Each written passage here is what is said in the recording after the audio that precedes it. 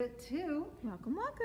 It's so nice to have you join us again. It's still Serger Month, as you know. It's April, and we have the newest machine in the line. Okay. This one is the 55th anniversary limited edition EF 205. It is a wonderful four thread serger. It harkens back to the original machine that we had, which I think you might remember from last week when we were showing you on the chart, the one that was the metal green original one. Well, they pulled that green color into this machine just I to kind of it. pull that a little bit forward. But as you know, the advancements that have been made on these machines over the last 55 plus years has been astounding. Oh, yeah. So come in closer to this one, Kaylin. Okay.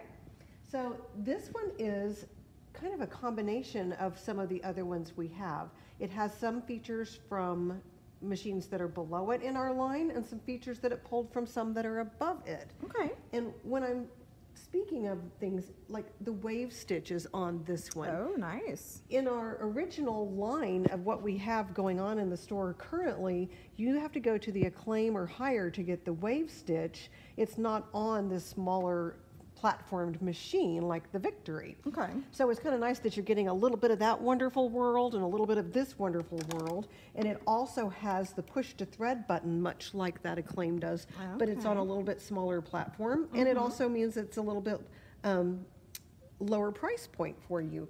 And there's only a few of these nationwide. Really? Right. I mean, we only have a limited amount at B-Sew Inn, and we want you to be someone that gets to go home with them. Yeah. So we had shown you all the wonderful ways that it can thread when it has the push to thread button, because whenever you lock this in place and the tubes come in, Ah, you push the button, shoots the air through there, and then this one has the same sort of needle threader like the Victory has Very that we showed you last week Yeah. and does beautiful stitching.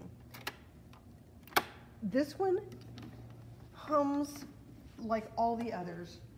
Can I show you? Yes. Again, it has the blade that's going to cut that off. And it's going to do a beautiful four thread overlock. You can also do a rolled hem. You can do the wave stitch with this one, which can make beautiful edges on blankets and quilts or napkins or garments, whatever you want to do with it. So if this is something you're excited about, they are limited. Not only do you get the limited edition machine, but you also get some goodies that they packaged with it. Okay, As you can see here, this is the 55th anniversary edition Serger inspiration guide. So as you may have seen from the past, when we talk about our inspirational guides, these books are written by Baby Lock educators and the pictures and the information in them is specific to this model. It's not generic information. Yeah. It also comes with this beautiful package of Baby Lock Sweet Seams fabric.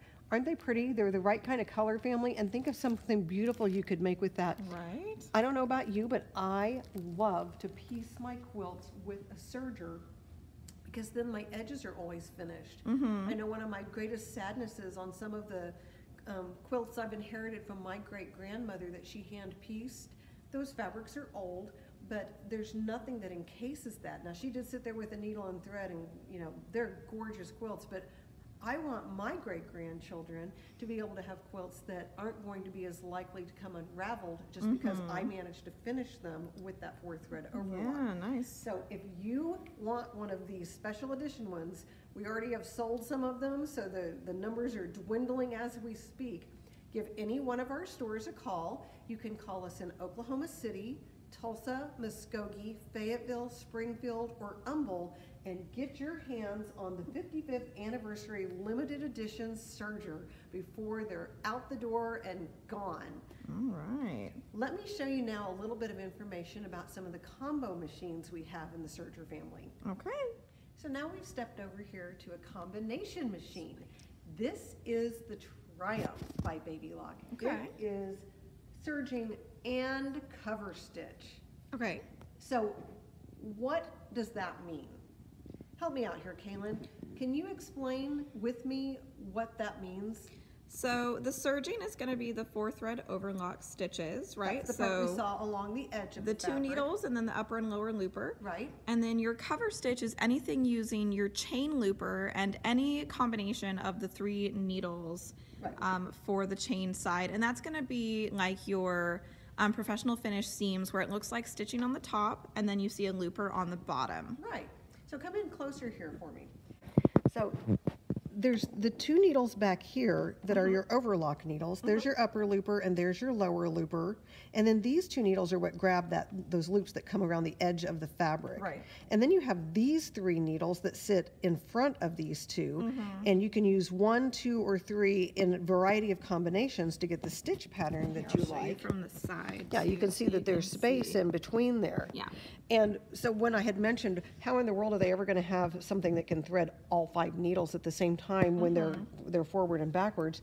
And, well, they did. I figured it out. So that wraps around your needle, and then whenever you put your, um, your thread lined up with it, it just sucks it right on through there. Yeah. You tell it up here if you Which need it to one be you're an doing. overlock or cover Right. chain stitch needles. So we already have ours all threaded. I just wanted you to be able to see that up close here. And we have this set up with all eight threads. Okay. Because I've had people say, well, what in the world do you do with all eight threads? You don't use all eight at the same time every time you're stitching. No. There are so many different patterns that you can come up with.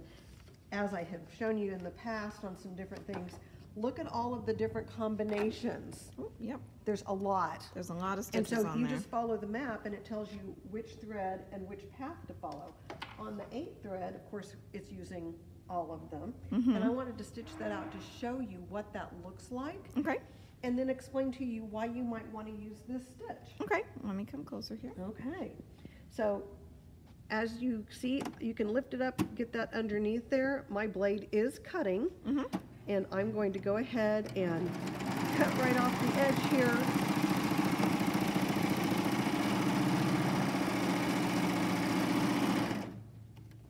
And this is what the eight thread stitch looks like. It did the overlocking looper stitch with that safety stitch right here. Mm-hmm. And then it did all three chain stitches. So you can see that on the back. Mm-hmm. And you think, well, what in the world would I use that for?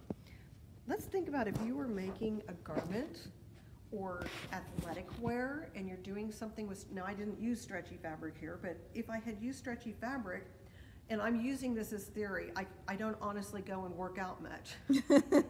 But the theory is things stretch, and so there's a lot of pull on something. Mm-hmm. And when you have a lot of pull, if you have all three rows of stitching and the edges are encased, mm-hmm. that stretchy spandex fabric is going to not pop that seam open, because I'm Right. sure that would be the worst part of working out is if your seams popped open. So having an eight thread Yeah. stitch is perfect for any kind of um, garment wear Mm-hmm. that has any kind of give to it. Um, But there's all sorts of other reasons you can use it, but that's the one that kind of pops into my head at the moment. So this one is the combination machine, and we also have the Accolade, which does the same stitch patterns, but it's a smaller version of the machine. It was originally the Evolution, and then they renamed it to be the Accolade. So if you want something with some of these features, but you don't want as big of a machine, then you can get the Accolade. And then we also have one that just does cover stitching only. So that would be the parts over here where you see those three needle stitches, mm-hmm. which you can do as one, two, or three, and that's the Euphoria. Okay. So if that's something that interests you, maybe you already have a serger and you love your victory and you're happy with it, but you really want cover stitching, mm-hmm. then maybe you want to add that to it as well. Okay. So another thing that we have special going on during National Serger Month is on some of the select machines, if you purchase the machine, then we have a special deal on this Koala Serger Station to go with it. So if that's something that interests you and you want to find out more about that, you can either look it up online on our website at bsewinn.com, give any one of the stores a call, but we have a deal on this that you cannot say no to. And it is perfect because as you see, it puts everything at the perfect space to be able to just serge right away and store all of my goodies in here. Very good. So I think we have one more thing we want to show you because we are doing our foot of the week of the specials week. right now. So let's go over to the sewing machine. Okay. Okay, so we're over here at the chorus from Baby Lock so that we can show you the foot of the week this week. Okay. And, and I think that's going to be our official name. I think we're gonna have to go The with foot that. Foot of the week. Foot of the week, yeah. Yeah, I don't, I don't sing. So anyway, this week we're going to talk about the G foot. Okay. Okay, so the G foot looks like this. Can Alright, you get in close to that Yeah, one, Kaylin? So that's the G foot. And it is actually the overcasting foot. So as you know, we've just been talking about sergers, and that is what overcasting is all about, is overlocking. Mm-hmm. Overcasting is a similar type stitch.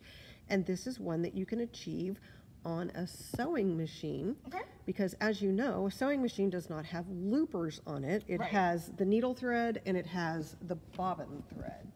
And so loopers, of course, were where you had it coming, looping on top and bottom, and then threads are catching the edges of the loops. On this, we just have to mimic something that makes it look like an overlocked stitch, Okay. but it's just doing it with two threads, a top thread, the needle thread, the bottom thread, the bobbin thread. You know, they should have called bobbins bottoms, because that makes more sense. It's on I don't know where the word bobbin actually comes from. either. Although, I mean weaving, but beyond that, I don't know. I don't know. We have not done the historical, Maybe we'll, we'll get you next week with that that'll be a new feature, the historical. um, historical etymology lesson. So I'm gonna snap this one in place. Okay. Oh, actually, before I do, let me show you something on it. Okay. So when you look at this one up close, do you see that little bar that runs right Yeah. there in the middle? Yep. Okay. When I flip this over, there's that bar. Mm-hmm. And do you see how it extends beyond that? Mm-hmm. It's actually open. Um, I could get my fingernail kind of under there, but the thread slides off of this as you're stitching. It's kind of a stitch finger. It is a stitch finger. That's Yeah. an excellent way to put that. I mean, this is the most like doing um, overcasting that you can get. And that's what I meant. But It is overcast. it is overcasting, but it is the most like overlocking. And then this part is the the the bumper of what you're going to put your fabric up Got next right. to. Okay. But the point I'm bringing up with this is if you are done stitching and you try to pull your fabric to the side, Mm-hmm. it can't because the thread is wrapped around that little bar. Okay. So when you're done, you have to pull the fabric from the back, and then it slides off of that little bar, That makes sense. and then it doesn't get hung up. Yep. Okay? Okay. little known facts about our feet. All right, so over here on the machine, we are going to go to stitch number, on this particular model, stitch number 17. And right here it says overcasting stitch. You can see it right there? Mm-hmm. Tells me what foot to use. Yep. G foot. You can adjust the width and the length. I think I'll make mine um, as wide as it can go, which is that one. And I think I'll make it a little bit longer. Okay. Just so you can see it. Now, And it is important with the G foot, just to add, that you are using the overcasting stitches because that stitch finger is under the needle. So we do want to make sure that whatever stitch we're using on it, the needle's not going to strike that. And all of those stitches on your machine that tell you to use the G foot are going to hop over that stitch finger. That's right, and if, if you don't use the G-foot, or if you use a stitch, if you have the G-foot on that's not for a G-foot, then you might hit that needle bar. Right. Yeah, there's a reason it tells you which foot to use. Exactly. So we're on the raw edge of this fabric right here, and as you can see, it's the one that I just did over Yeah. at the um, Triumph. But I am going to put that down, and we are going to, do you see how it moves it forward and backward? Yep. So my whole goal is that I'm making sure that I'm keeping it lined up with the edge. And I'm sorry, I'm kind of sitting off to the side, so I, I can't see it So the camera can get in here, sorry. I'm pretty sure I'm right there on the edge of it. And I'm not going to go the whole distance of it, but I think you're getting the idea of how it's it's keeping all that frayed edge in place. Yep.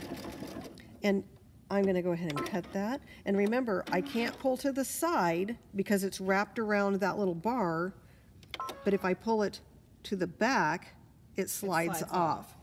And then you can see it's not exactly the same as doing an overlocking stitch on a serger, but, But it it is go over that encasing it and right. it's and it's keeping that from fraying. Yeah.